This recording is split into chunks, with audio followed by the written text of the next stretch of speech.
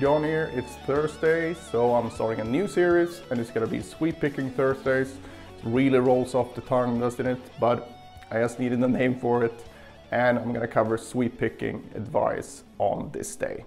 In this lesson, I'm gonna cover the basics of sweep picking and especially focusing on the right hand and just give you some tips on how to stay relaxed and finding your perfect picking motion and how you should approach it when you practice because the right hand is really what I see go wrong most of the time for my students where they start separating the pick strokes and things like that. To help you out with this, I have a practice routine that you can add to your own practice. And if you do this for a few weeks, I'm 100% sure you will see a big difference in your sweep picking. Even if you're kind of used to sweep picking, this is a good routine because you go through a lot of different combinations in the left hand as well.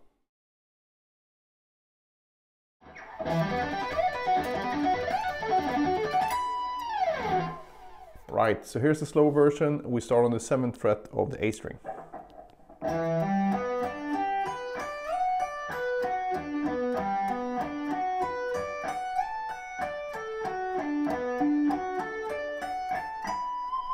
So this lick is in E minor and we have superimposed arpeggios here. And what that means just means that you play another kind of arpeggio than the one based on the root note. So it's like an extension, but without you having to play a huge arpeggio. So for example, we start here with the E minor 7 one. The next one will be a G major 7 one. But when you play that over the E note, you're gonna hear the intervals as minor third, fifth, flat seven, and ninth. So that the net effect of this will be that it sounds like an E minor ninth arpeggio without you having to play five notes in actual shape because it sort of picks out the, the good notes. Because if you're playing this over, over an E, for example, you will already have the E ringing in the background. Uh, and then we extend that even further by playing an E, uh, B minor 7 arpeggio. In this case, the intervals will be in relationship to the root with the fifth, flat seven, ninth, and then the 11th. So basically the whole arpeggio lick will uh, amount to an E minor 11 sound. So the cool thing about this is that you don't need to learn any new shapes to play bigger arpeggios. You can just stack shapes you already know from different scale degrees. Not gonna get into the theory behind this right now. I'm gonna cover that at some point. All right, so we have two different shapes in this one, even though I'm playing three shapes. And that's because the first shape is the same shape as the third shape. So once you know this one, you basically know two thirds of the lick. Uh, so this shape then is 7, 10 on the A string, 9 on the D string, 7 on the G string, 8 on the B string, 7 on the E string, and 10 on the E string. So the way that I pick this is down, hammer, down, down, down, down, up, and then slide. So I'm sliding up to 14, and then I'm going up in the next shape, going down in the next shape, which is a G major 7. So we have 14, 10, 12, 11, 12, 14, 10. So all together. And I restart the same kind of deal here. So downstroke and then going up the same way picking wise. Then slide up to 17 and then go down the same shape we did here but from 17 instead. Then restart it again. So the only difference here at the end is that I don't slide up, I actually pick the last note just to get that final finality of the, the lick basically. So I'm going, but that's up to you, however you want to do it.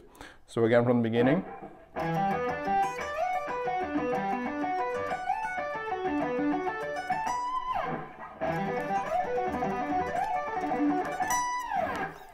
So try this out over an E minor chord or an E drone or an E minor backing track where you hang out on the E minor for a while.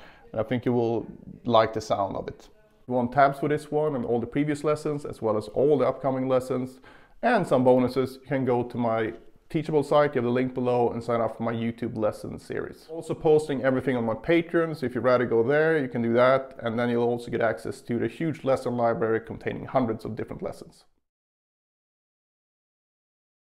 Alright, so this is the first sweeping video, so I want to start with some sweeping 101.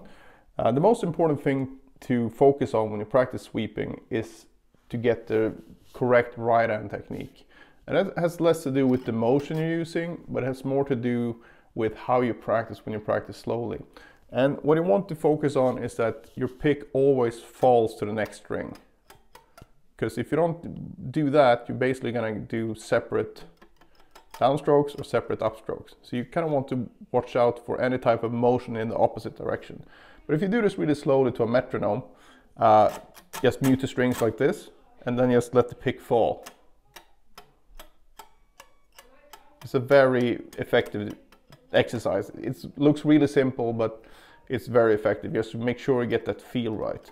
And also try not to dig in too much. That's another thing that I see a lot. So at any point when you start feel any type of tension in your right hand, you want to just pull back, uh, turn the volume down, mute the strings, and just go like this. Try to find a fast and smooth motion in the right hand. And you'll feel that when you get this, it's a very easy technique for the right hand. So, you know, even your non-guitar playing friends should be able to sit down with a guitar, put the pick like this and just let it go. That's basically the motion. And as you can see here, quite a fast sweep. So the problem isn't really speed in the right hand. It's more about uh, controlling the, the rhythmic subdivision in the right hand and also uh, in conjunction with that, syncing up the left hand, right? So whenever you feel tension or you start feel like you're digging in too much, just pull back to this very easy motion. And as you can see here as well, I'm doing quite pronounced pick slanting, that's fine. If you look at Frank Gambale, he does the same, and I mean, he's the best sweep picker around pretty much. So it's just a natural thing for the pick to want to be like this for whatever reason. So don't fight that, just go with it and I think you'll find that you'll find your personal sweeping technique that's relaxed. And it doesn't have to look like mine or anyone else's, it's just about you finding what you feel is comfortable because after all, you're gonna fit this into your own playing. So try that if you feel that the right hand gets stuck. So, as usual, I have a little practice routine here that you can use to work on this aspect of sweeping. We're gonna do this over three strings only. And I'm gonna do this with sort of a semi-systematic way, but it's, it's not exhausting every combination because we don't really need to. But I think it's good to start synchronizing the left and right hand right away.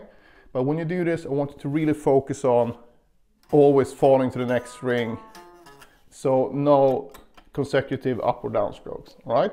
I would also suggest that you start this at like 60 to 80 BPMs and just play quarter notes and really try to get into that habit of being relaxed. So here's the routine. We're gonna use the same fingerings as we used in the previous video with the legato stuff, but now we're gonna use it for sweeping. So recap okay. is gonna be one, two, three, one, two, four, one, three, four, two, three, four. And the sequence is gonna go like this. So I'm gonna start here on the seventh fret of the low E string when you practice this at home, I really suggest you do it in the five different zones I've been talking about. So if you haven't seen that, go back to my other videos. Uh, and actually, I probably should do it from the ninth fret, since that's part of the actual zones. So the ninth fret it is. Okay, so first we're gonna start with one, two, three. We're just gonna go like this. So from the E string, and then A string, D string. I look at my pick, I'm falling to the next string right? So that's all you have to do for the, for the ascending thing. Then we turn it around, still one, two, three. So you do that, I would suggest twice. You just go like this. Then you just keep going with the right hand. So the right hand pattern is not to change. But now you change to one, two, four instead. You do it again, starting on one, three, four. finally two, three, four. When you're done with that, you restart one, two, three, but you reverse it. So you go three, two, one, three, two, one. Again, twice. And then you guessed it, one, two, four, but backwards. Four, two, one, four, two, one.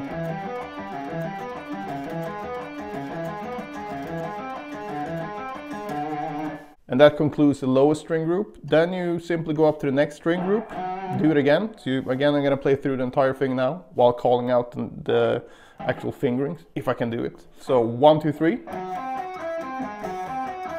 One, two, four. One, three, four. Two, three, four. Three, two, one. Four, two, one. Four, three, one four, three, two. Then restart on the D string. So on everything, and then you do the G string.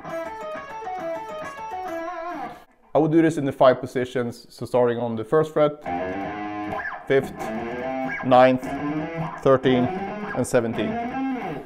Because it doesn't take that long to do, so I think it's worth doing that. But again, do it really slowly and make sure you don't get any type of separation of the pick strokes.